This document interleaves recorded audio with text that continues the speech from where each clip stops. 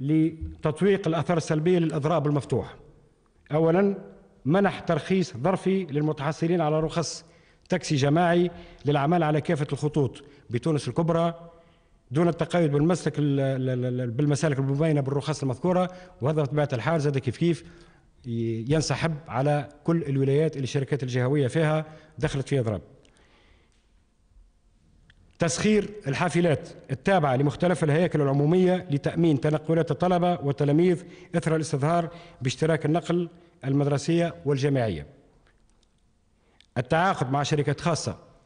اللي هما وكالات الأسفار لتأمين عدد من الخطوط البعيدة نسبيا على غرار واد الليل والمرناقية ومرناق وقلعة الاندلس وسيدي ثابت والمحمدية مع تطبيق التعريفات التي تتعامل بها شركات النقل العمومية إحالة فورية